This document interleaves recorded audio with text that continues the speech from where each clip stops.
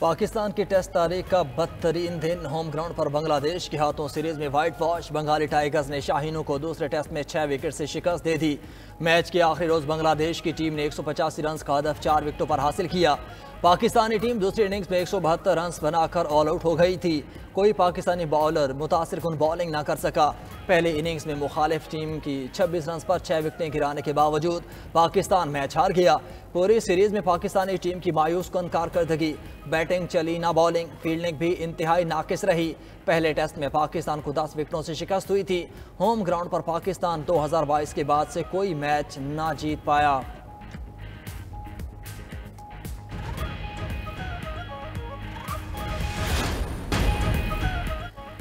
Supreme court के जजेस की तादाद तेईस करने का बिल कौमी असम्बली में पेश। चेयरमैन पीटीआई बैरिस्टर गौहर ने बिल की मुखालफत की। कहा, आइन के तहत ऐसी तरमीम सिर्फ़ हुकूमत ला सकती है।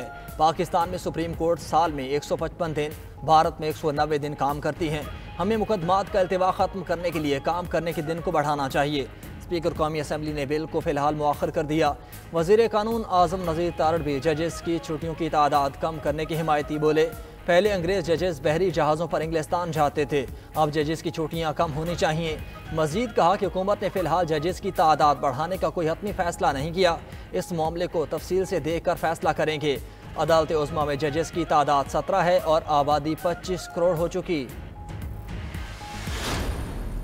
ये आर्टिकल 184.3 जो सुओ मोटो है, ये अक्सर बहुत गलत इस्तेमाल हुआ है। जितने भी सुओ मोटो लिए गए हैं वो इस उसमें अक्सर सियासी लोगों को सज़ाएँ मिली हैं। तो मैंने सर इस लिहाज से किया कि अगर जो ज़रूरी बात होगी वह सुओ मोटो का तो उसमें नौ जजेस बैठकर वो बैठें और उसमें सर आ, उसका वो करें कि ये सुओ मोटो लेना चाहिए नहीं लेना चाहिए। जे यू आई के रुकन असम्बली नूर आलम खान ने अदलिया की अजखुद नोटिस के इख्तियार से मुतल आइनी तरमीम का बिल पेश कर दिया। मतन के मुताबिक सुप्रीम कोर्ट में अवामी नौीयत के मुकदमात कम से कम नौ जजेस पर मुश्तमिल बेंच सुनेगा। मुतासर अफ्रीक फैसले के खिलाफ तीस रोज में अपील दायर कर सकेगा। नूर आलम ने तोहन अदालत के मनसूखी के कानून का बिल भी पेश कर दिया। स्पीकर अयाज सादिक ने दोनों बिल कायमा कमेटी बरए कानून और इंसाफ के को भेज दिए। अपने खिताब में नूर आलम खान ने कहा, सोमोटो के इख्तियार का गलत इस्तेमाल किया गया। जितने सोमोटो लिए गए, उनमें सियासी लोगों को सजाएँ दी गईं।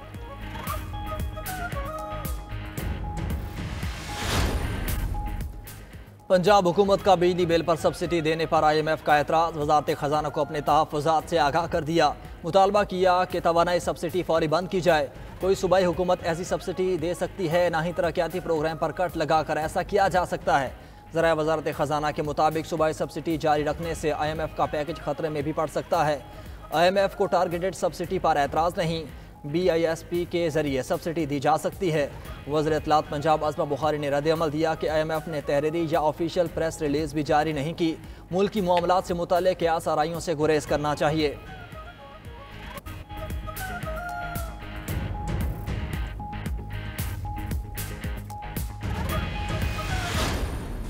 के साथ हमारी जो प्रोग्राम है, उसके लिए जो भी लबासमात जो भी शराइ उनकी हम पूरी तरह उसको हम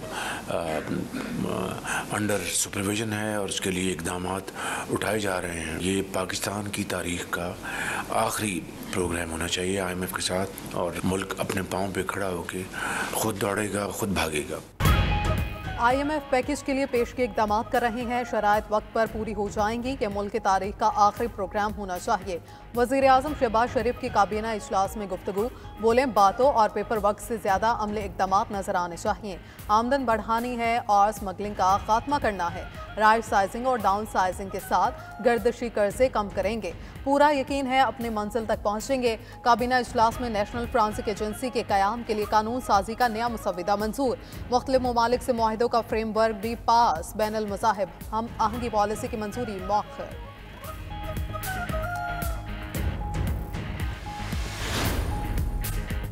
ताजरों पर टैक्स वापस नहीं लेंगे। सोसाइटी के हर शोबे को टैक्स अदा करना होगा। विफाकी वज़ीर ख़जाना मोहम्मद औरंगज़ेब का दो टोक पैगाम। बोले, ताजरों को हर सहूलत देंगे, उनके जायज़ मुतालबात मानेंगे, लेकिन टैक्स अदा करना होगा। इसके बगैर मुल्क तरक्की नहीं कर सकता। रवा हफ़्ते वज्र अला से बातचीत होगी। मुल्क भर में यकसा पॉलिसी नाफिज होगी। एफ़ पी आर का टैक्स वसूलियों का हदफ डिजिटलाइजेशन और इन्फोर्समेंट से पूरा करेंगे। कर्जे रोल ओवर के लिए बातचीत मुस्बत अंदाज में चल रही है। उधर ताजर रहनुमाओं की एफ़ पी आर हुकाम से बातचीत कामयाब ना हो सकी। ताजर रहनुमाओं ने अपनी तजावीज़ देने की पेशकश कर दी।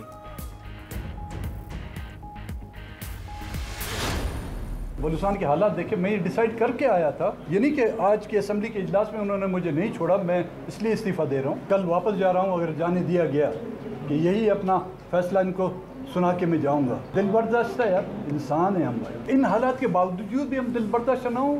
असम्बलियों में बैठने का फ़ायदा क्या है? वो मुझे मनाने, आप क्या आएँगे। हमारे बलूसान में किसी भी सड़क पर आपको यू टर्न नहीं मिलेगा। बीएनपी के रहनुमा सरदार अख्तर मैंगल ने कौमी असम्बली की रुकनीत से मुस्ताफ़ी होने का ऐलान कर दिया। बोले अवान में बलूचिस्तान के मामले पर कोई संजीदा नहीं। असम्बली हमारी आवाज़ नहीं सुनती तो उसमें बैठने का कोई फ़ायदा नहीं। इस सियासत से बेहतर है, पकौड़ों की दुकान लगा लूँ। मुस्ताफ़ी होने पर पैंसठ हज़ार लोग मुझसे नाराज़ होंगे, लेकिन मैं उन सबसे मुआफ़ी माँगता हूँ।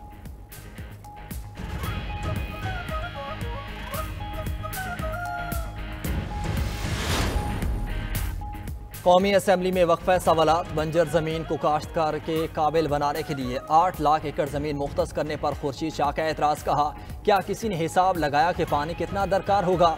हमें ये फैसला करना होगा कि हमें 48 लाख एकड़ ज़मीन चाहिए या पाकिस्तान चाहिए।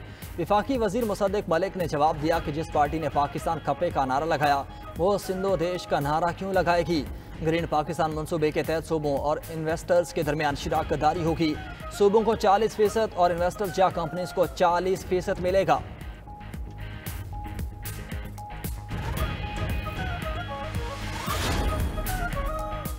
विफाकी हुकूमत का अहम फैसला, सरकारी मुलाजमीन के बगैर इजाज़त, सोशल मीडिया इस्तेमाल पर पाबंदी आयद कर दी।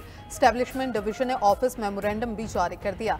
मेमोरेंडम के मुताबिक सरकारी मालूम और दस्तावेजा अफशा होने से रोकने के लिए यह फैसला किया गया। सरकारी मुलाजिम बगैर इजाज़त, सोशल मीडिया पर इजहार राय या बयानबाजी नहीं कर सकता। खिलाफ वर्जी पर सरकारी मुलाजिम के खिलाफ सख्त कार्रवाई की जाएगी।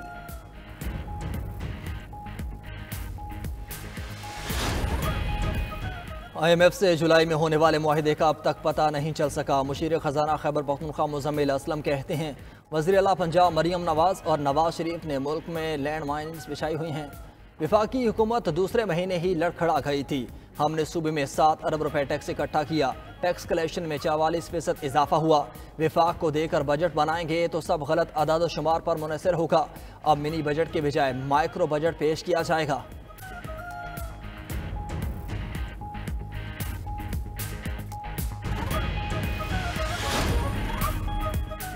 नायब वज़ीर अजम इसहाक डार से अमरीकी सफ़ीर डॉलन प्लूम की मुलाकात। बाहमी और इलाकाई उमूर बशमूल अफगान पनाह गुजीनों से मुतलिक उमूर पर बातचीत। पनाह के ख्वाह अफराद का तहफ़ मुआशी शोबों में ताउन, सिक्योरिटी इंसदाती दहशत गर्दी और इलाकाई ताउन पर तबादला ख्याल। पाकिस्तान के अकवा मुतहदा की सलामती कौंसिल में गैर मुस्तकिल रुकन की हैसियत से अपनी मुद्दत का आगाज़ करने पर भी गुफ्तु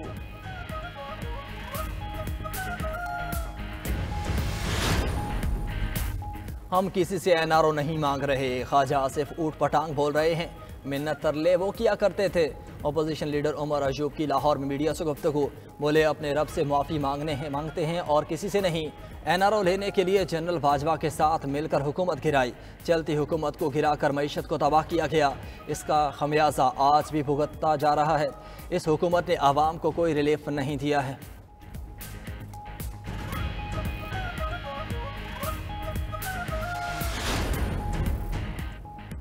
पानी पीटीआई के मुमकिन मिलिट्री ट्रायल रोकने की दरखास्त पर एतराज़ात आयद। इस्लामाबाद हाईकोर्ट के रजिस्ट्रार ऑफ़िस ने बानी पीटीआई की दरखास्त पर एतराज़ात आयद किए। कहा किसी मखसूस एफ़ आई आर के हवाले दिए बगैर ममूली और अमूमी रिलीफ कैसे मांगा जा सकता है? दरखास्त के साथ कोई ऑर्डर या दस्तावेज़ नहीं लगाए गए। पंजाब के मुकदमात पर इस्लामाबाद हाईकोर्ट में दरखास्त कैसे दायर हो सकती है? मिलिट्री कोर्स हवालगी से रोकने के लिए बानी पीटीआई ने इस्लामाबाद हाईकोर्ट से रजू किया।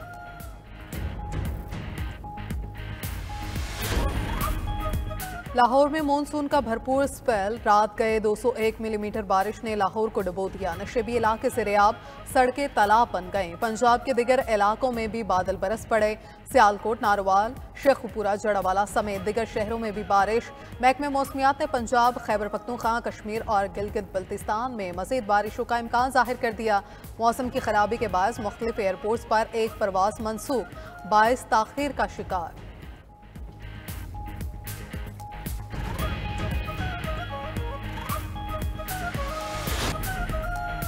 रेलवे रिटायर्ड मुलाजिम मोहम्मद हसन का कौमी शनाख्ती कार्ड ब्लॉक करने का case. Sindh high court NADRA हुकाम की कारकर्दगी पर बरहम।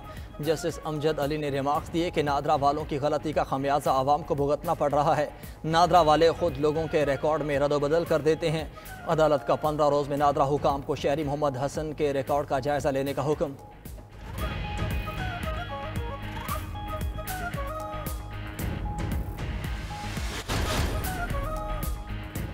आई एम एफ़ के पैकेज की मंजूरी में मजीद तखिर का खदशा। आई एम एफ़ ने बिजली की कीमतें कम करने के प्लान पर वजाहत तलब कर ली। राय के मुताबिक विफाकी हुकूमत ने अठाईस सौ अरब रुपए रिलीफ का पैकेज आई एम एफ़ से शेयर किया। मनसूबे के तहत विफाकी और सूबाई हुकूमतें फंडिंग का बंदोबस्त करेंगी। चौदह सौ अरब रुपए विफाक और बाकी रकम सूबे अदा करेंगे।